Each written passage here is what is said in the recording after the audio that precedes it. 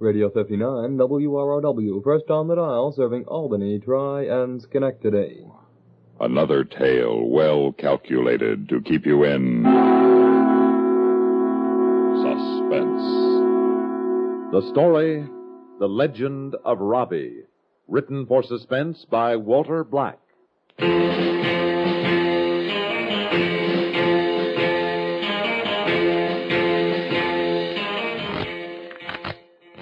George, you're the nanny. Yeah, that's right, okay. Give me one. Feeling an inside straight, old buddy?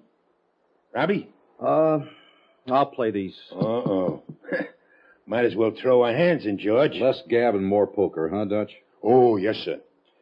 Let's see, I'll take two. Uh, who opened? I did. I'll open for 50. I'll see you. I'm in. George, old buddy, what do you got? Full house. Queens over trays. Yeah, you hit it, huh? Well, beats me. Robbie? Yep, beats me too. Hey, you win the deal, Lucky. Uh, no more tonight, Dutch. Three-handed poker ain't that much fun. Yeah, no more for me either. That's not late. I, I know, but I set myself a five dollar limit and it's gone. This is a real sensible fella, you know it? Sensible? What's sensible about it? I can't lose money I don't have. Kid, you got the wrong slant.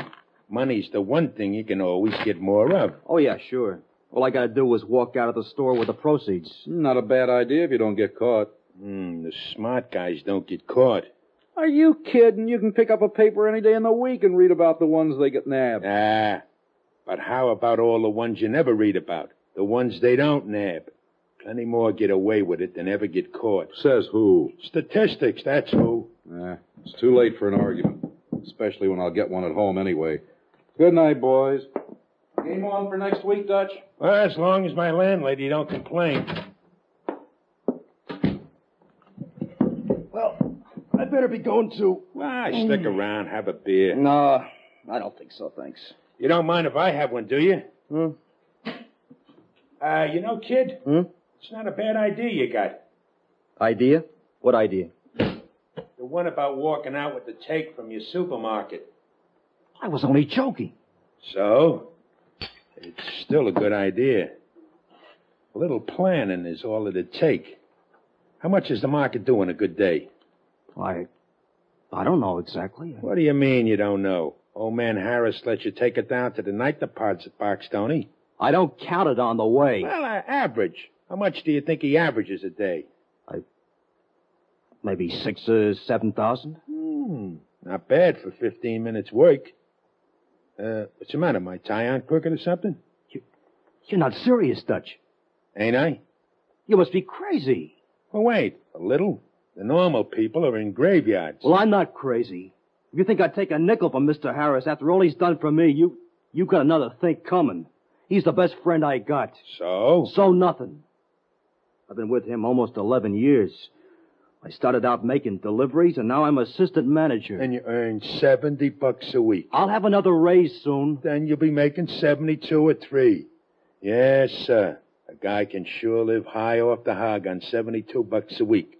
Lives like a king, can he? I I'm not so old I can't wait a while. That's the spirit, Robbie. You knock your brains out, and Mr. Harris takes home the dough. Knock it off, will you, Dutch? I don't want to talk about it anymore. Suit yourself, kid. Hey, um, Huh? how's, uh, what's her name? You know, that redhead who works with you? Sandra? Yeah, Sandra. What a dish. She gone out with you yet? No. Meaning you haven't asked her. How come? How can I afford to take a girl like her out on what I make? Hmm, you're not a bad-looking kid, Robbie. Maybe she wouldn't mind just having an ice cream soda and taking a nice long walk. I got an idea.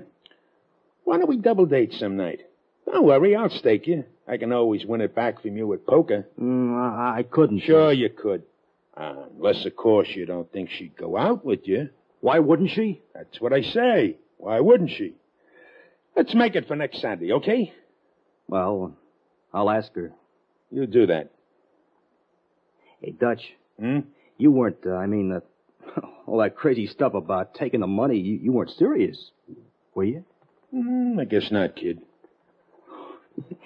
Yeah, I never know when you're kidding and when you're not. How could I be serious? After all, You only gotta wait another 20, 25 years and the store'll be yours, won't it? You'll be rolling in dough by the time you're 55 or 60. Huh? Mud in your eye, kid.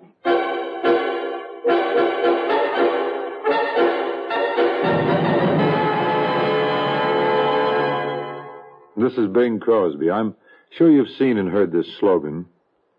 Home is where the hurt is, where multiple sclerosis hits. I'd like to talk to you for a moment about those homes that are hit by MS and closely related diseases. One of them could be a home of a friend or a loved one or even your own home. Because MS strikes anywhere, anytime. It's simply no respecter of persons. Multiple sclerosis is a crippling, baffling disease of the central nervous system that heaps emotional and financial disaster on top of physical hardship. It's a disease that the victim and his family must learn to live with because its cause and cure have not been found. Now, with so very little known about MS, scientists have to track down anything that is a possible lead. But careful, continuous scientific research takes money. And if money isn't available, a promising lead can't be followed up. Join the fight to conquer multiple sclerosis. Please say yes. And give to the MS Hope Chest today.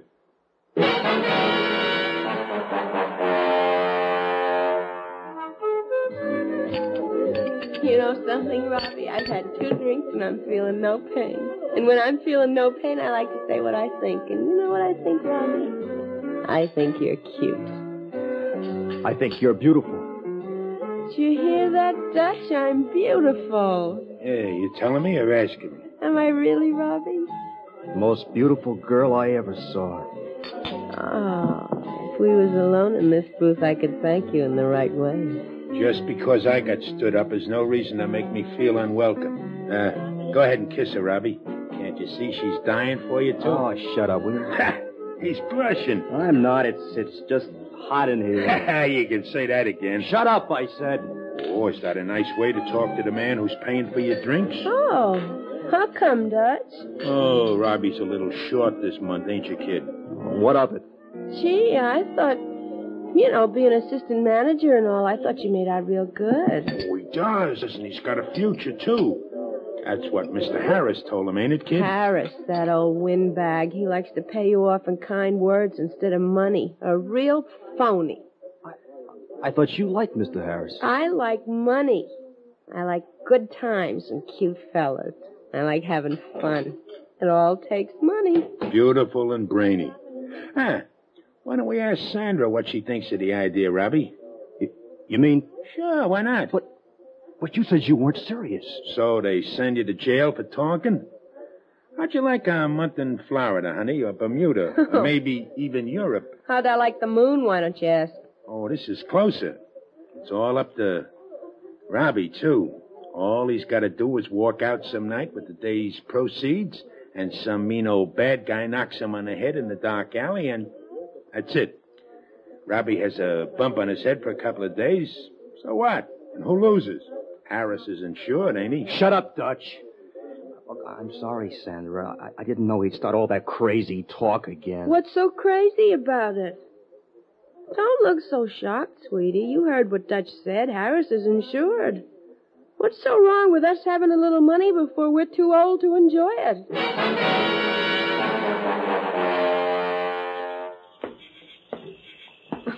oh! I'd have fallen if it hadn't been for holding on to you. Uh. Put your arm around me, sweetie. Oh. You're strong, aren't you? Yeah, I guess I am. I'm sure glad Dutch went on by himself. I thought we'd never be alone. you wanted to be alone with me? What do you think, cutie pie? Come here. You like it? Sandra, I, I love you. I love you too, cutie. Come on.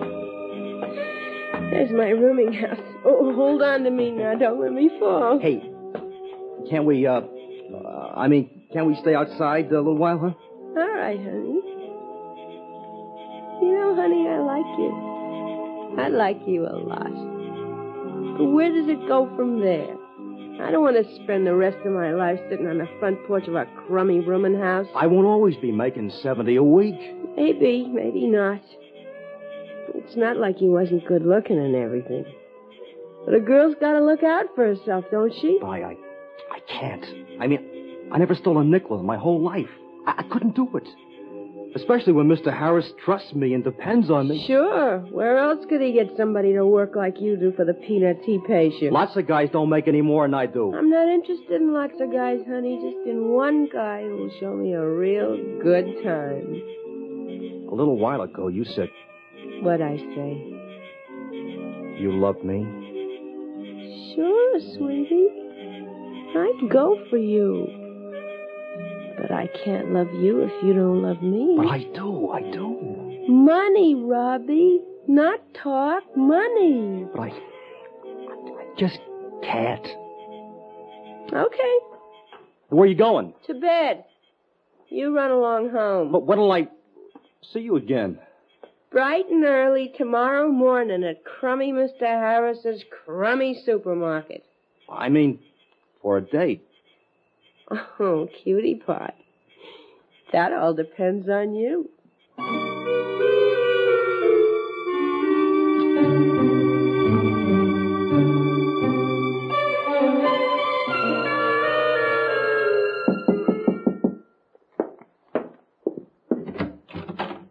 Ah, how you doing, Robbie? You alone, Dutch? I gotta talk to you. Uh, come on in.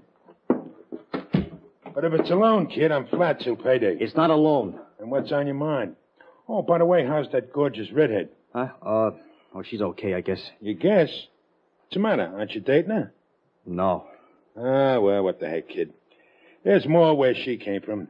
Maybe the next one won't be so hipped on money and good times. Dutch, that, that idea you had What idea is that, kid? I get so many about of the supermarket. Oh, that one. How can you be sure to be safe? How can we get away with it? Can't miss, kid. How long you been taking the money to the night deposit? Oh, two years about? Uh, Friday's a big day for the store, ain't it? Yeah. You stay open late. Huh? Uh, when do you hit the night deposit on Fridays? Uh, ten thirty, a quarter of eleven. Street's pretty deserted. Yeah? How come you ain't never been held up before? I don't know. That's the whole answer in a nutshell. You don't know? 'Cause there ain't any reason. You've just been lucky. Well, what's to say you're going to stay lucky? Any night you could have been mugged, right? Could have been hurt bad, maybe even killed, right? Yeah, I guess. No guess about it. You've just been lucky. Okay, so next Friday you won't be. It's that simple. You're walking alone, minding your own business. I drive up, jump out, give you a tap on the head so it looks good to the cops, grab the bag of money, and take off like a wounded eagle. Later on, we make the split. Nothing to it. Well, the cops, won't they ask me questions? sure, and you answered them. Two guys mugged you. You never even saw them. They're going to call you a liar? How can they prove different? You're a solid citizen, good rep. You said yourself Harris trusts you. And don't worry about him. He ain't going to lose. He's insured. How we, um, spend the money? We don't. Not for a nice long time. And we do it real gradual so nobody gets suspicious. That's where most guys get fouled up. They can't wait. But we can. Maybe we put it in a couple of banks, let it build up a little interest. Anyways, we can worry about that later. When do you, uh, I mean, we, I mean, I know what you mean. This Friday. that soon? You're gonna wait till your redhead finds another guy? This Friday. Now, you just go on like you've been doing. Don't do anything different. You leave the rest to me.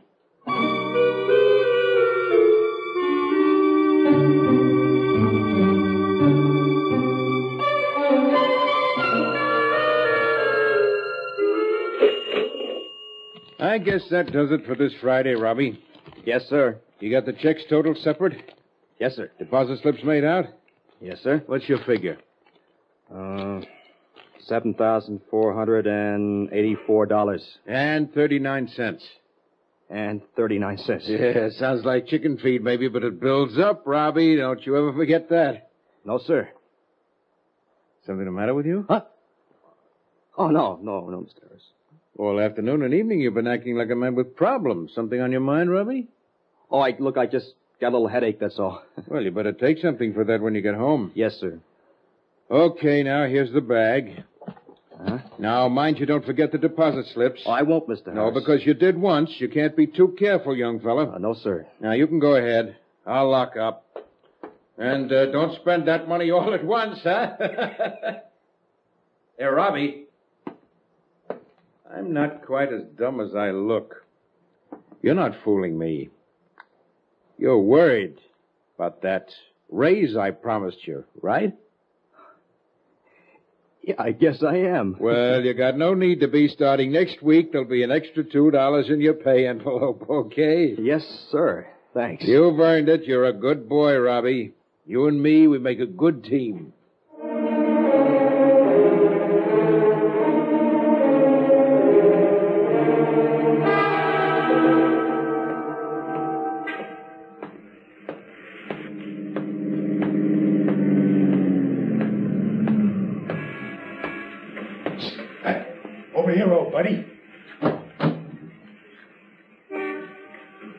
Okay, let's get it over with. Hold it, Dutch. What's the matter? You got the dough? I can't. You ain't backing out now. Look, I'm scared, Dutch. I'm scared. I, I'm scared I might say something wrong to the police. Do I have to be left here all alone? Can't we, can't we do it some other way? This is what I get for working with punks. No, we can't do it some other way. Now give me the dough. Please, Dutch, take me with you. Now- Please, I'm scared. Let me go with you. All right, punk, in the car. Thanks, thanks, Dutch. We'll work something out. Shut up and let's get going.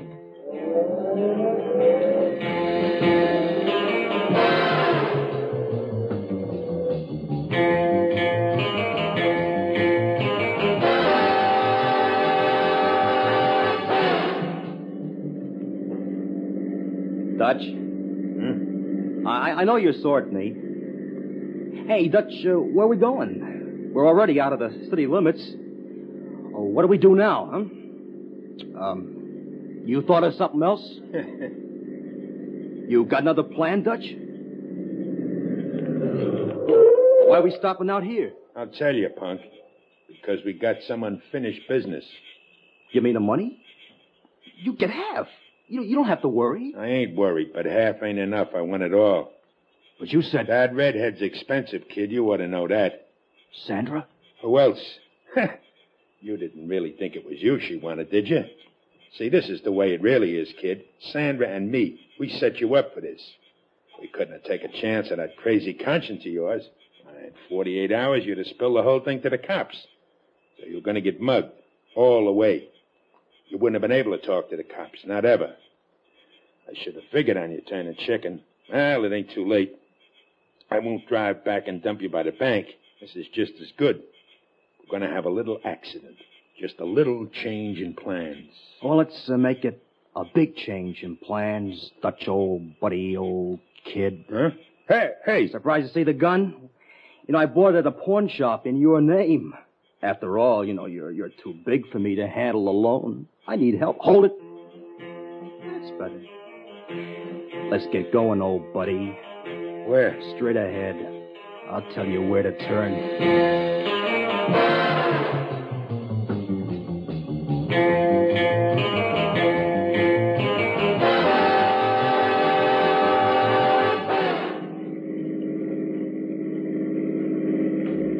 Take the next right. What are you going to do? Now, listen, kid. I was just testing you, you know? Seeing how you'd stand up under pressure. I, wasn't serious. It's all a gag, you know? Ah, sure I know, Dutch. But I am serious. Turn here. Want to hear my plan, Dutch? You. You ain't got the guts to kill anybody. You're so wrong. You and Sandra set me up. I set you up. And Sandra doesn't worry me. You know, she'll go where the money is. I'm not worried about her. Hey, Dutch, notice this canvas bag?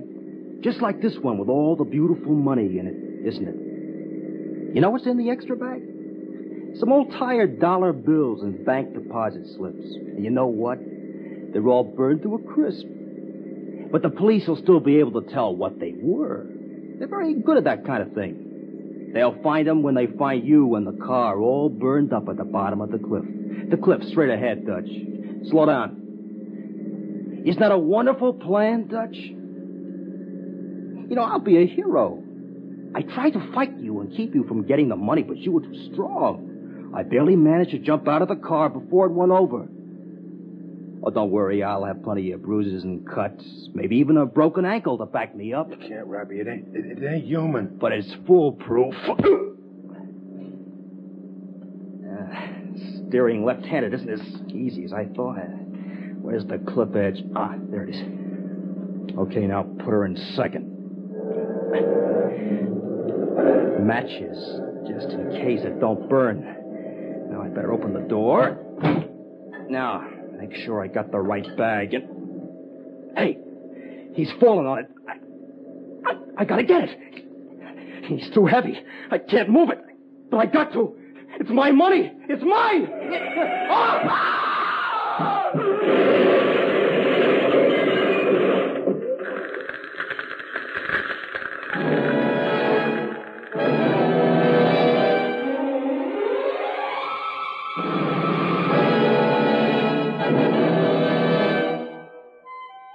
just can't get over it.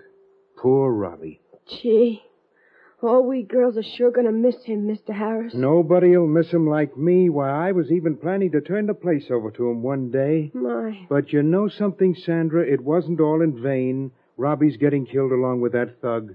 How do you mean? Well, it proved how right I was to trust him. Why, he could have saved his own life, maybe, if it hadn't been, if he hadn't been fighting, trying to get back my money. No, sir, Sandra, you just don't find many young fellows like that. He was a hero, Robbie was, and I, for one, won't ever forget him. Me either. Mr. Harris, Hmm? would you think I was awful forward if I said you remind me a lot of Robbie? I do? Oh, yes, sir. Except, of course, you're more mature and uh, kind of stronger. Maybe I shouldn't tell you. But I think a girl ought to tell a man how she feels about him. Don't you, Mr. Harris?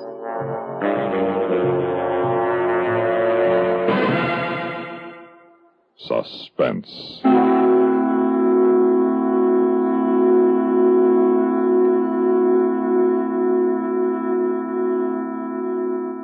You've been listening to The Legend of Robbie, written for suspense by Walter Black. In a moment, the names of our players and a word about next week's story of Suspense.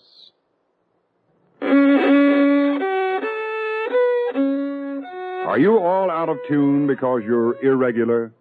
Then help yourself get back in tune with Kellogg's All Bran. You'll feel right on pitch when Kellogg's All Bran goes gently to work, relieves constipation due to lack of bulk by supplying your system with bulk forming whole bran. Yes, a daily bowlful of Kellogg's All Bran with milk helps put you right back in tune. The natural way. The good tasting way, too. Fact is, Kellogg's All Bran is the one brand cereal that combines proved effectiveness with appetizing taste and crispness. It never gets mushy in milk.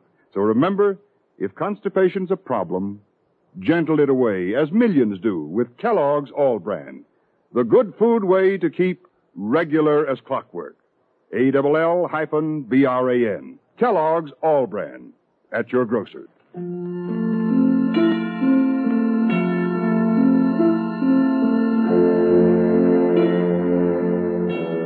Heard in tonight's story were Larry Robinson as Robbie, George Matthews as Dutch, Joan Loring as Sandra, and Eric Dressler as Mr. Harris.